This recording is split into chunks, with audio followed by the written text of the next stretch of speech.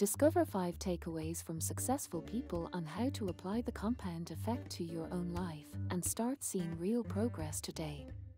Number 5. Surround yourself with supportive people. Darren Hardy, the author of The Compound Effect, emphasizes the importance of surrounding yourself with supportive people who believe in you and your goals. This can help you stay motivated and on track. Hardy recommends finding a mentor or joining a community of like minded individuals who can offer guidance and encouragement.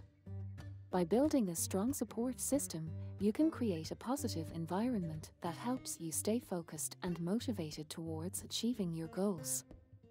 How do you plan to apply the compound effect in your life this year? Leave a comment in the description below. Thanks for watching.